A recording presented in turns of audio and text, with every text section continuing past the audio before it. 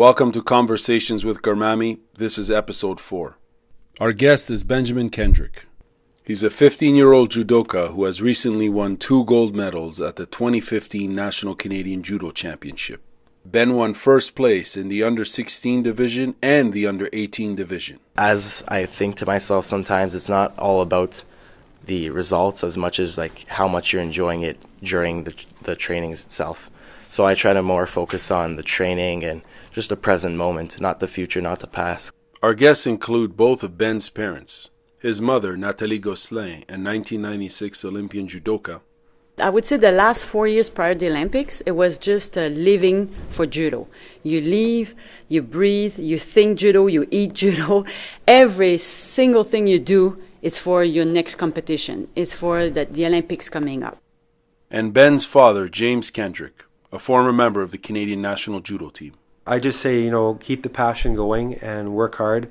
And I also tell him to learn and observe. And I think he's really good at that. He's got a keen eye and he's um, he learns visually, so he observes actions of others, his own actions, what works, what doesn't, and he's able to make those adjustments and learn.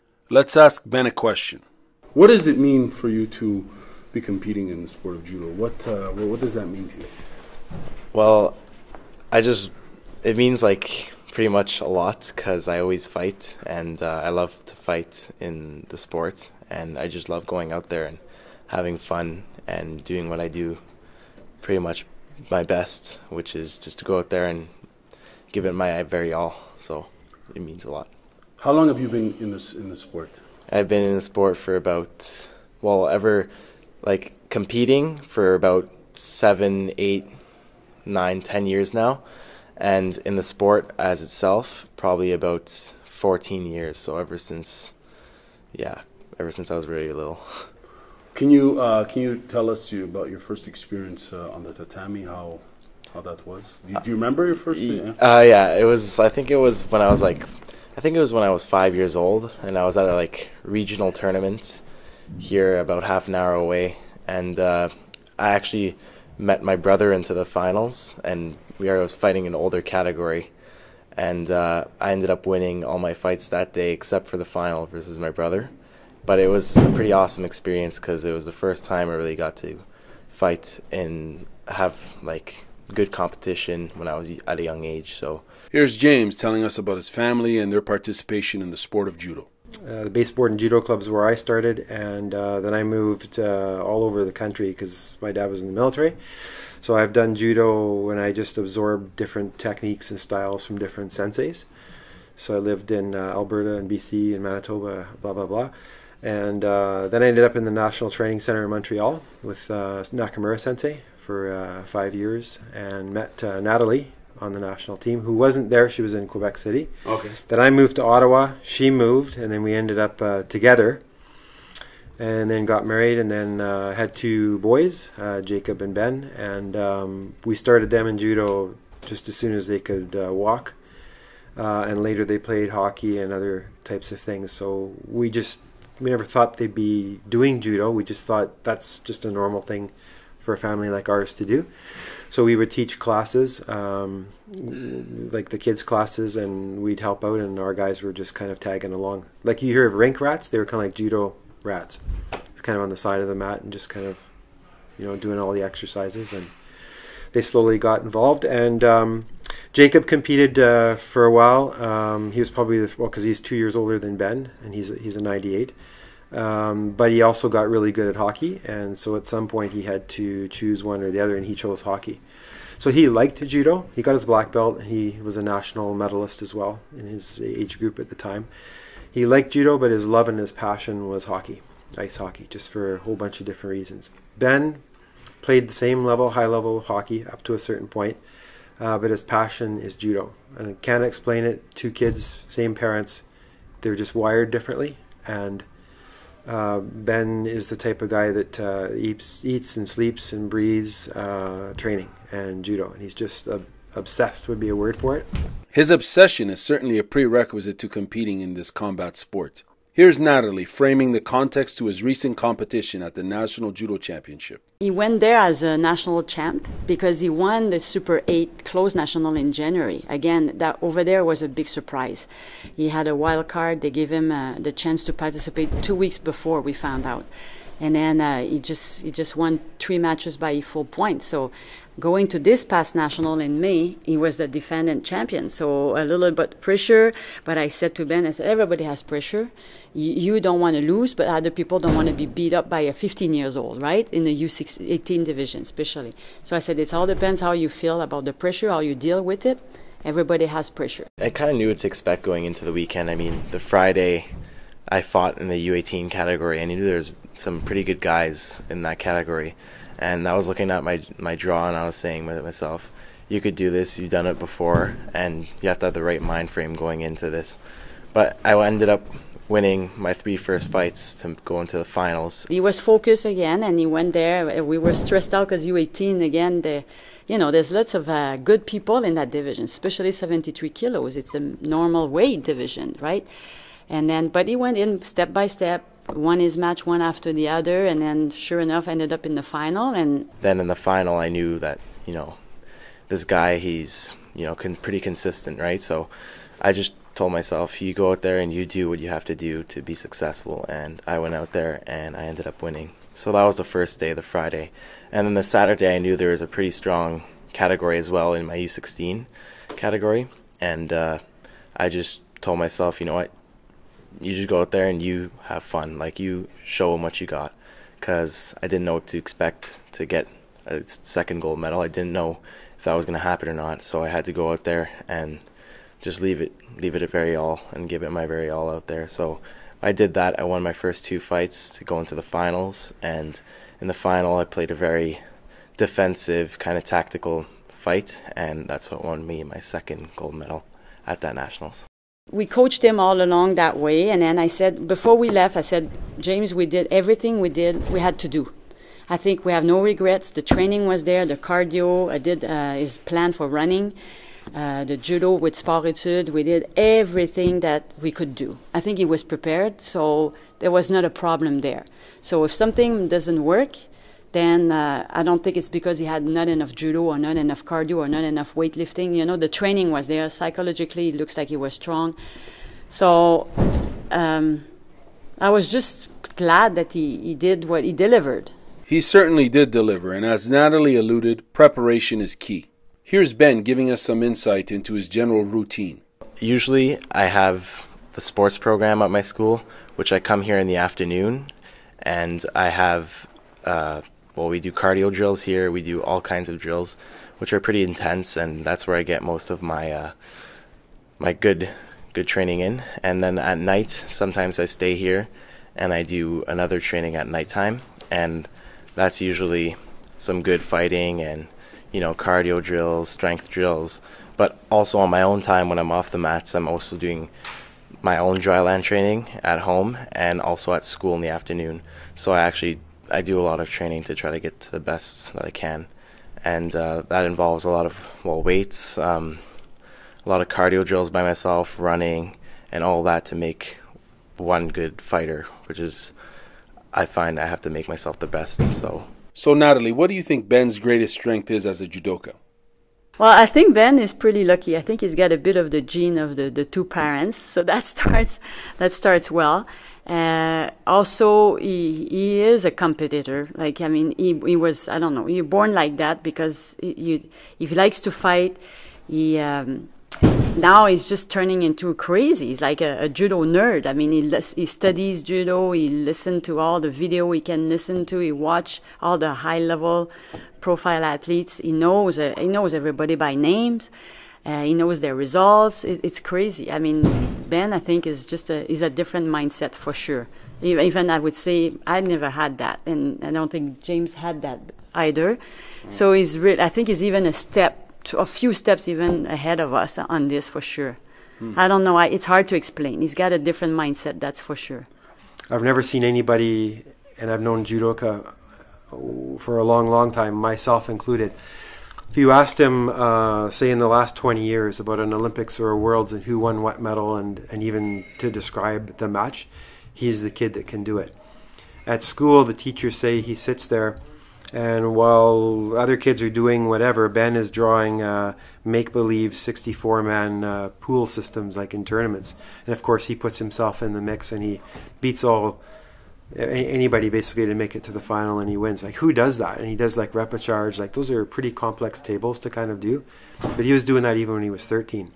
Um, he takes uh, really detailed notes. Uh, he's a he's kind of a cryptic writer. He's very uh, precise, detailed, and he journals a lot. So he journals how he's feeling. He says he, he takes notes of what worked, what didn't. We didn't really tell him to do this stuff. He just kind of picked it up and um, I think that's what uh, makes him a, a really good um, learner, and I think that's another key. So it's the volume of training, and it's the ability to learn and adjust and adapt. And you need the the jam or the the drive to do that all in the first place. And um, it probably comes from uh, a bit of Natalie and a bit of myself, but it's it's mostly him. There's some fire in him. He's passionate about the sport of judo and certainly has a desire to train hard and compete. Let's hear more about his training routine. Beyond just the physical, what else do you focus on in terms of? Do you do any mental training? Mm. Can, can, you tell us about yeah. The, some of the routines you do? Well, during like before I come on the mat, I usually have you know my pre. Well, I I like to focus with music, so I usually have my pre, you know, training tracks that I listen to, and uh, then I know that that just gets me really at the highest peak of focus that I have. And during training, I don't always focus just on the physique too. I focus also on the mental part. Say I get thrown, well, you know, I'm not gonna break loose and get all mad about it. I'll probably just get back up, refocus, and I see it as the ways you could either sit down and pout about it, or I could get back up and do something about it. So I focus a lot on you know mental keys and keywords and uh, stuff to get me refocused quickly because that's important in tournament also. But in training, generally, I try to focus on, you know, this this didn't work. What am I going to do to make it better? It's always to make it better and seeing it in the positive kind of way. You don't. Uh, uh, did you get nervous? You don't seem like you would. Uh, in training? Yeah, or yeah, in in, in competition. Yes, in, in competition. Um, I, for every fighter that there is, I find they have a pretty calm face but inside I could feel and I could feel it myself too. I'm pretty I could be pretty nervous before going onto the on the mat, but after that first fight opens up during a tournament, then the others just come like really much easier cuz you let all your uh, all the stress out in the first fight really. But I could tell I'm pretty nervous sometimes before going on the mat, but you just got to learn how to control that and uh, turn that into positive energy. Here's Natalie speaking on the value of hard work, determination, and passion. I think it's uh, it's something that you don't see in everybody. That's for sure. Uh, try to explain it.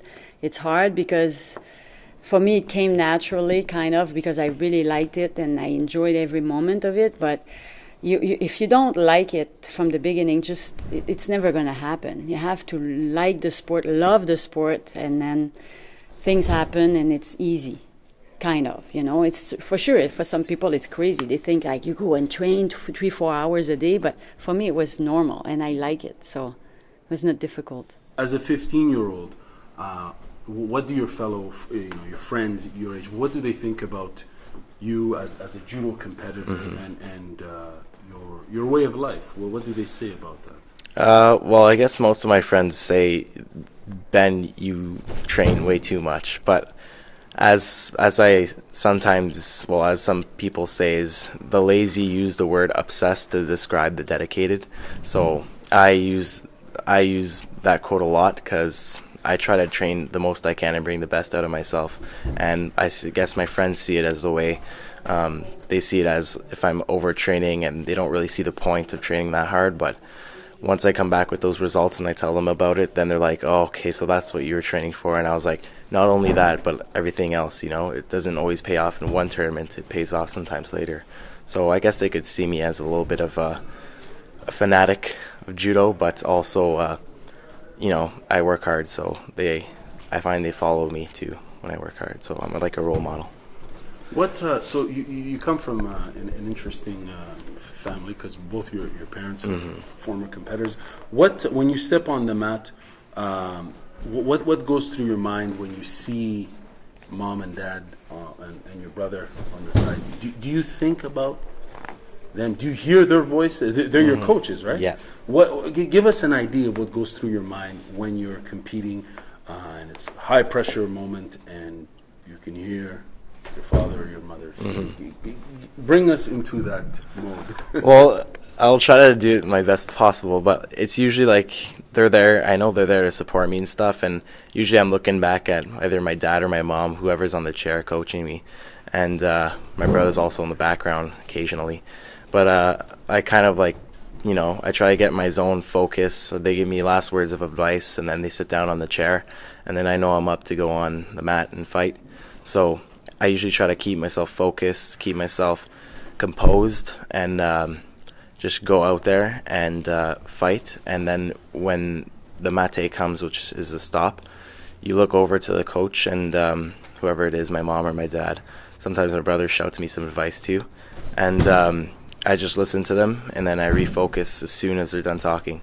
So, and then the rest of the fight is just I'm in my zone, and you feel kind of anxious going onto the mat, but you know it's a good kind of anxious because then that turns into the energy that you want during your fight.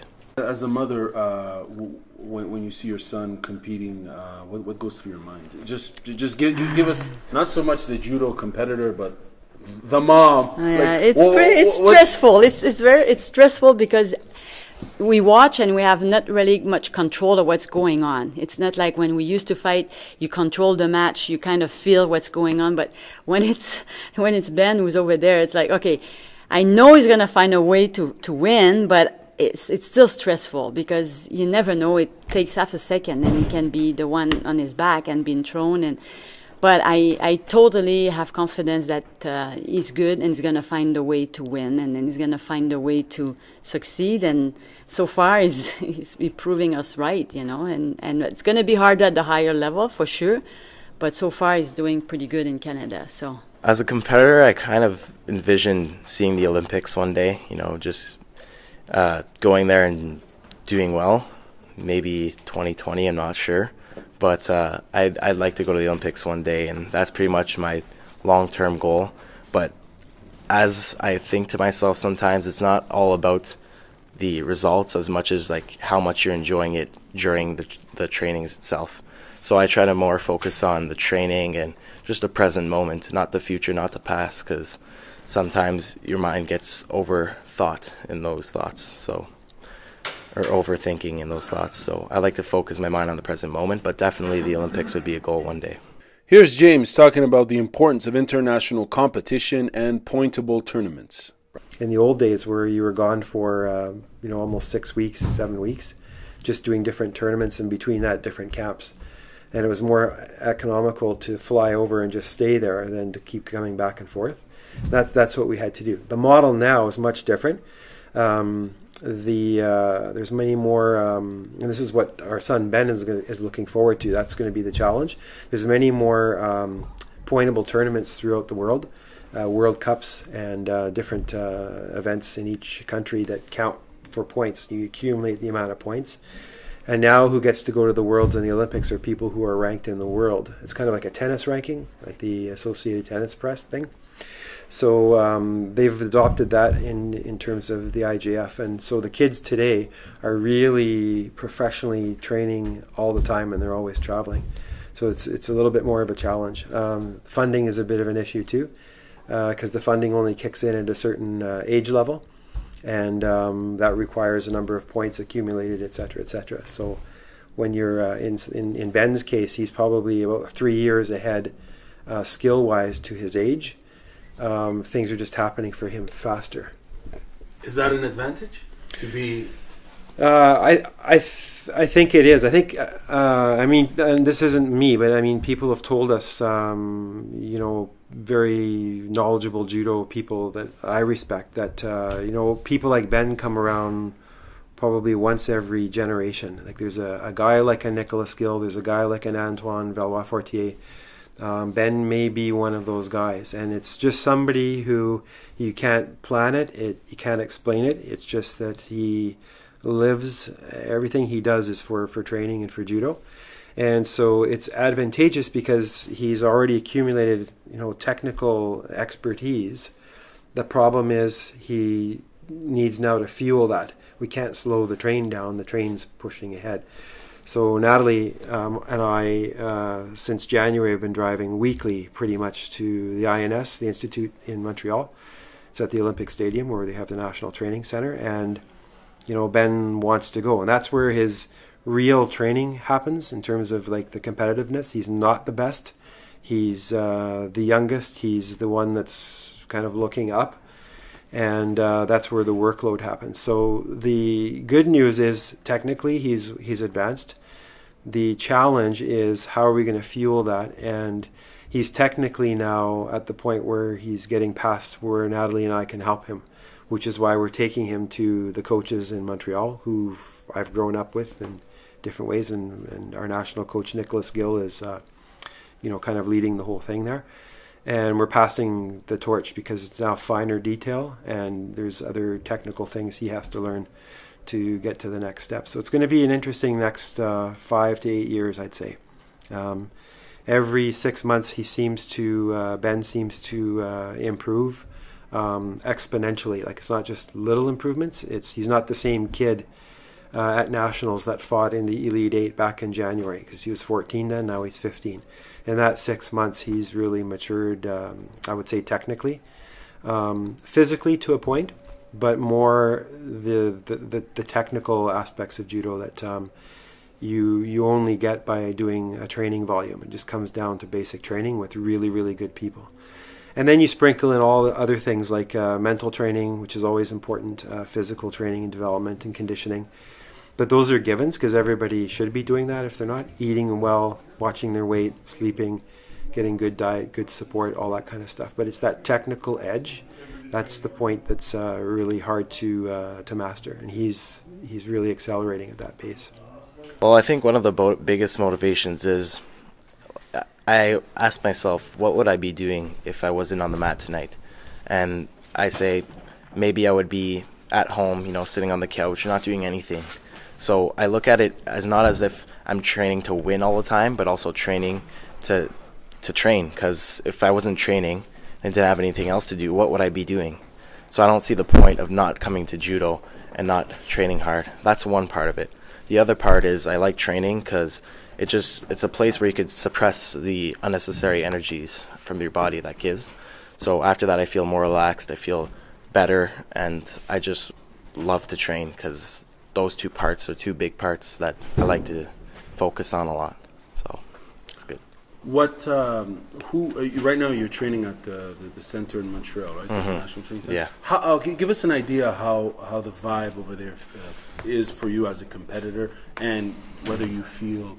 Uh, pushed uh, mm-hmm. in terms of the level of competition in house. Yeah. All right. So, well, as I first went there, I kind of felt like you know a bit pushed around and like maybe this isn't, isn't my place, but I feel like that went away because now I'm more used to going and more and more, and I know more people.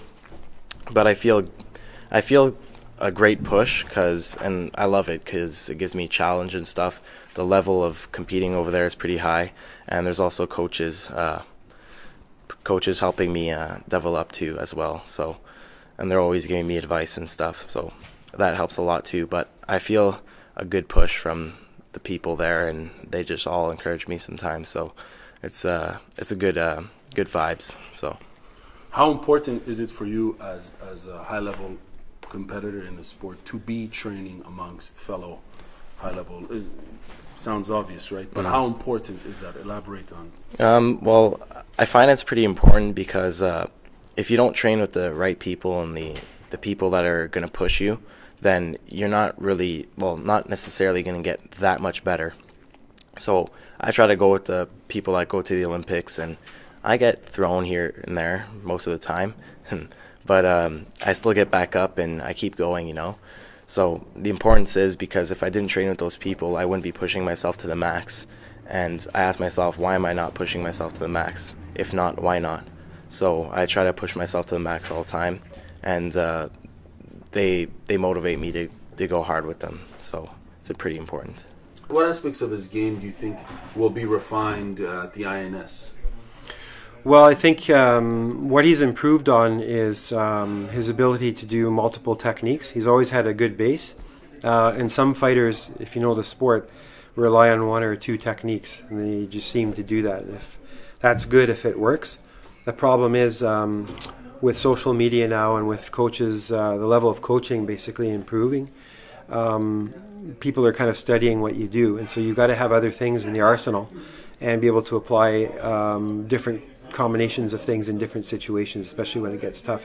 I think the only way you can do that is through the volume of training and competing and actually fighting, brawling, sparring on a regular basis. And Ben at first found it difficult, but now he's able to go through uh, a training camp with the national team. I mean, these are the guys that are on the world team. They'll be going to Rio uh, next year, and he's training with them, and you know, in his weight, and he's holding his own. He's not uh, beating them, but he's you know not like it was when he was 14, just kind of tagging along. And there's nobody like that right now who's able to withstand the volume of training. And I think that's the number one key. It's um, being able to uh, really increase the volume of high level training. Um, and then the technical stuff kind of comes with that. We're working with Ben now more technically on uh, different finishes and making the link between uh, well tachiwaza the standing techniques and the newaza which is the, the grappling. Um, because at the higher levels those uh, little details seem to be done very well. And that's what he needs to learn. It's more reaction. And it's just plain experience and takes uh, time. Lots and lots of repetition he's also working with uh, besides nicolas gill the head coach uh, janusz pawlowski he's our national training center coach, and uh, I have known Janusz for almost 30 years. He was on the Polish team, and we'd see him all the time. Uh, he was just a 65 kilo fighter, but the guy's got two uh, Olympic medals. Lost a split decision for the gold in uh, the 88 Olympics, which was in Korea, to a Korean, so there's a little bit of a bias there, and three world medals. So technically, the guy knows everything and there's a few other people almost of that caliber, and this is who Ben is getting uh, coached by on a regular basis. They will advise, they'll tutor, they'll observe, they'll correct him, um, and it's really black and white. It's basically you did this wrong, you need to correct it.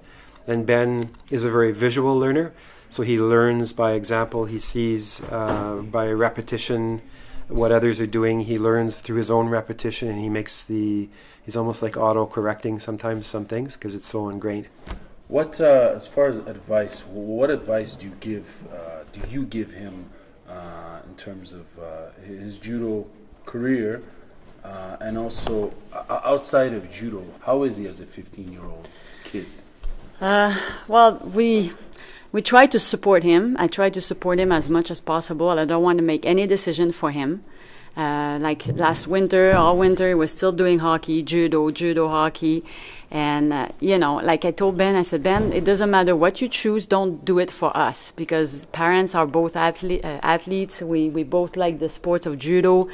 James is more like the hockey guy type, hockey dad. But I said, either way, you do it for yourself because I don't want I want I don't want him 10 years uh, down the road say, "Hey, why did you make me do this?"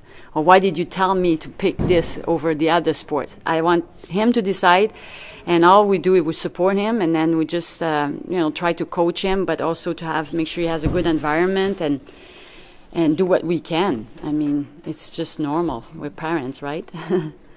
uh, so clearly th- there's no pressure on, on I hope not. I hope not. I hope not, and I hope that if people would see that we put pressure, would I hope they would tell us. Mm-hmm. Because I totally want him to be the one who decides everything, and I mean, he, for sure we have to give him uh, some guidelines, guidelines, and then also because uh, we've been there, done that, similar to what he does. So I'm, you know, I think we we can help him that way, even if sometimes a 15 years old thinks differently, but you know so we just try to support him and encourage him and you know if he has some down moments which it doesn't happen too often we just try to cheer him up but it, so far it's been doing very good so he doesn't have much down moments. What gives me satisfaction is that um, they both seem to have jacob and ben have chosen um, their activity of choice but they also want to make sure that their support is around because anything can happen injuries um, other bad luck can kind of enter into it. But if everything kind of stacks up,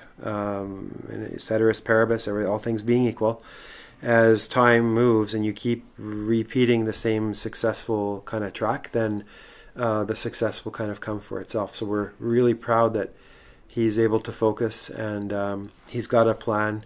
He basically knows what to do, and and I see my role as a father, and Natalie would say the same probably as a mother, to be um, the tweaker, the guider, basically, and uh, we'll just remind every once in a while, refresh.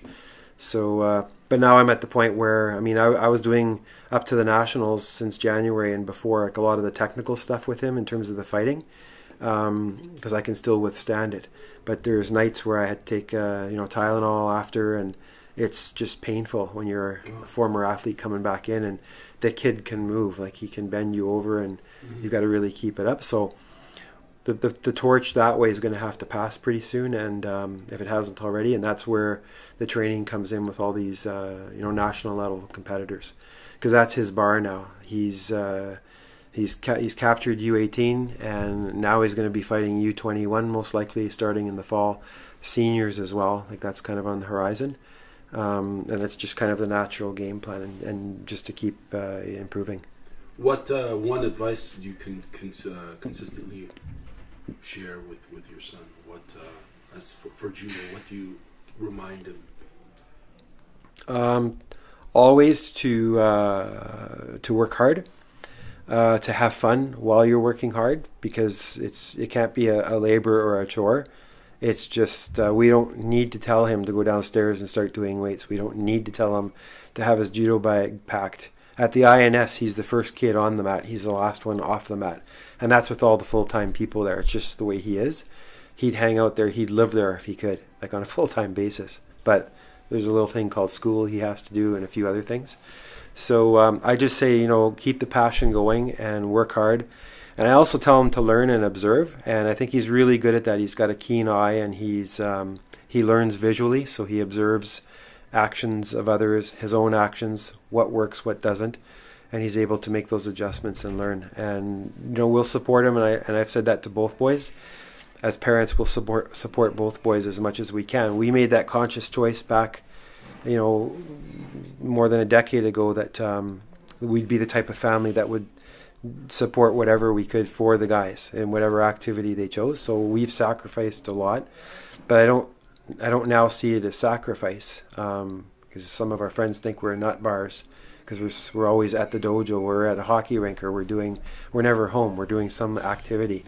But it's your passion, right? But that's our passion. Yeah. I, I see it as a way of life. But every once in a while, I, I kind of stop myself and I realize like there's there's networks and friends of people out there that that aren't like that um, and even professionally like it's just it's hard to explain to people so that's uh, like you work but then there's another piece of your life which is equally demanding and, and uh, rewarding but it's it's work but it's not it's a passion but it's it's basically supporting the boys where do you see uh, his future uh, in, in the sport like clearly you know he's he's very successful uh, mm-hmm. where do you see him uh, in the next four to eight years? If he keeps developing that way, uh, I think 2020, Olympics 2020, he probably would be. Uh, he had a good shot. He has a good shot at it, but he's gonna have to move to Montreal, train full time with the national team, which he's already started to do. Like every week, we you know we take him. And then uh, in two years, I could see him. He's going to be there full time for sure. And then you know, we always have uh, the fear of injuries and stuff like that. And financially, we can we afford all those travel because he's going to be going everywhere. He has to collect points and to be the top of the top 20 or top 30 in the world and then do all those tournaments that gives points so that's another thing so uh, financially we'll have to find a way of, of getting sponsors but also you have to make sure he doesn't get injured he gets his rest he gets a good training good nutrition and all that What's the one key? This is the last question. What's the one key advice that you give to him uh, consistently overall? What's that one piece? The of one thing I always say, Ben, go out there, have fun, because the day you don't have fun, it's not worth keep going.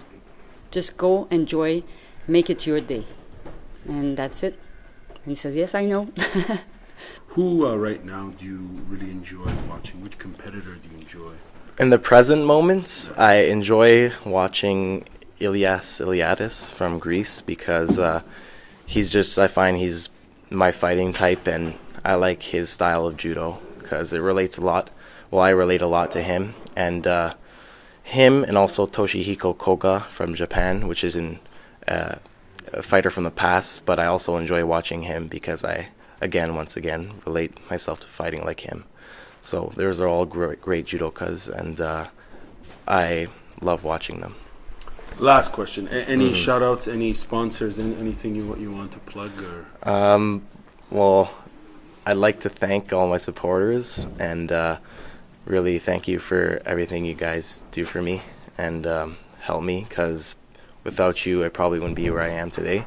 And uh, also, uh, shout out to uh, Mizuno for being my judo sponsor because you guys help a lot too. So, thank you very much. Thanks to all our guests, and thank you for listening to Conversations with Garmamie. For more information, visit garmamie.com. That's G A R M A M I E dot com. G A R M A M I E dot com.